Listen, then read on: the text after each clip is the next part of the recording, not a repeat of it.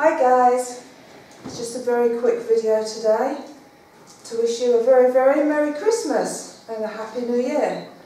Don't get too drunk and make sure you watch all my videos in the new year. See you guys soon. Merry Christmas.